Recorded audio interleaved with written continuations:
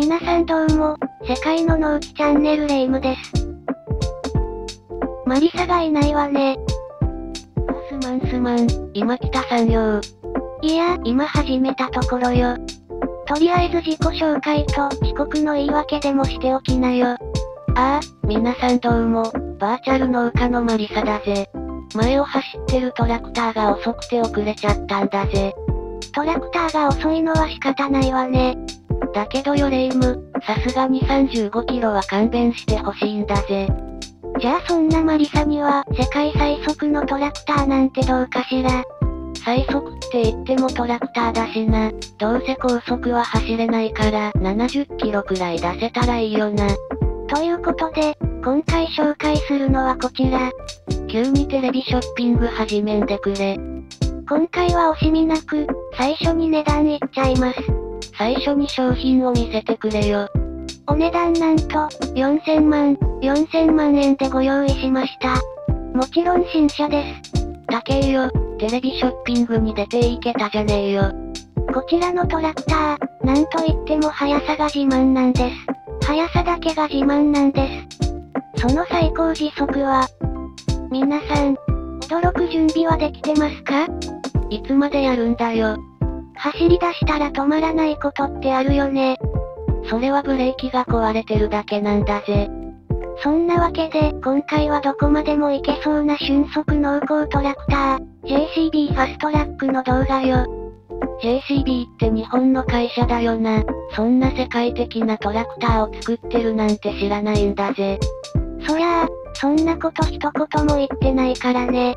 はいトラクターメーカーの JCB とはイギリスのメーカーよ。日本のクレジットカード会社とは関係ないわよ。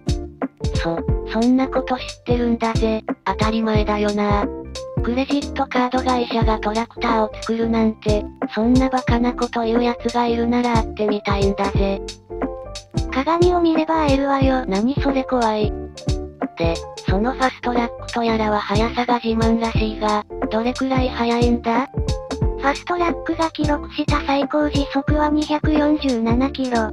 そしてギネス記録としては、時速217キロの記録を樹立しているわ。農耕車って、なんだっけ？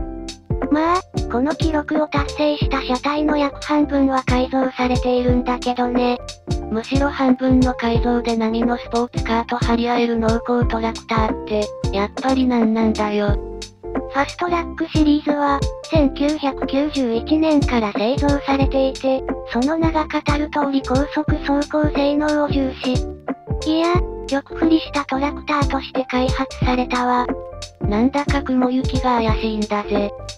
とりあえず仕様を見てみると、現行モデルは178から235馬力の4000シリーズ3ラインと、306もしくは348馬力の8000シリーズがラインアップされているわ。初代ファストラックでは最低125馬力でありながら、当初から全モデルで6気筒エンジンが採用されていたのは珍しいところね。125馬力だと、だいたい4気筒だよな。まあ他にもこのトラクターにはネタが満載なんだけどね。ギネス記録の改造車はどんな改造がされていたんだ？具体的な内容はわからないけど、性能比較として、現行最大モデルが348馬力、1450ニュートンメートルに対して、改造車は1016馬力、トルクは2500ニュートンメートルを超えると説明されていたわ。他にも、市販品から3500キロの軽量化や、空力性能の向上といった部分で改造が見られるわね。まあ、思いつく限りって感じだよな。しかし腐ってもトラクターなんだぜ。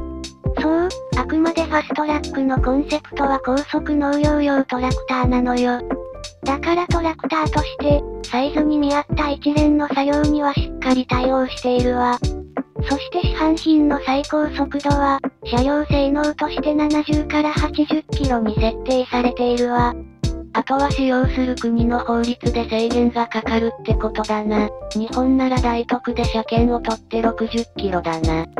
結局そこに引っかかると、ファストラックの価値は半分以下になるわけだけど、60キロなら、選択肢は狭くなるけど他のトラクターでも出せる車種があるからな。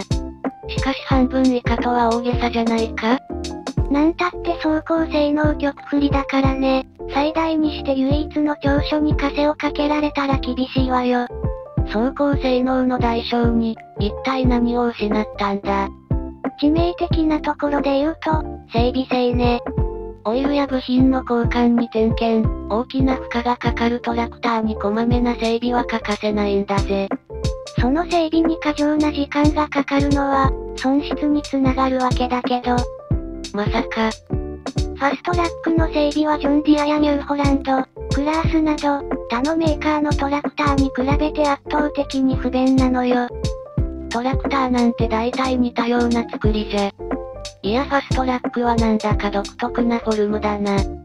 例えば整備頻度の多いエンジンオイルやオイルフィルターのようなものは、大抵の車種でアクセスしやすい配置になっているんだけど、ファストラックでは触らせる気がないような配置だったりするわ。それは困るんだぜ。そうは言っても、定期的にメンテナンスが必要な部分だから、やらないわけにもいかないしね。ただ耐久的な部分では調子がいいという話も聞くわね。故障によるメンテナンスが少なく済むのは救いだな。それにキャビンは広くて、道路のような凹凸の少ない場所では乗り心地も良くて、結構いいところは多いのよ。さすが高速走行局不利だな。でもトラクターとは凹凸の激しい畑の中を走るものなんだぜ。それは言わないのが優しさよ。ちなみにこれは旧世代の油圧リンク操作パネルだけど。うわぁ、癖が強いな。そして足元。いやレイム、画像を間違ってるぞ。これは乗用車だろ。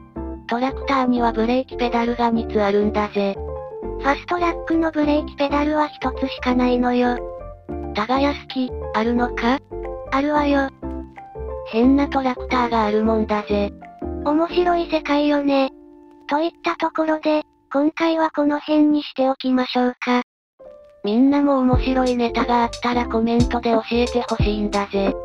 あ、あとチャンネル登録500人ありがとうございます。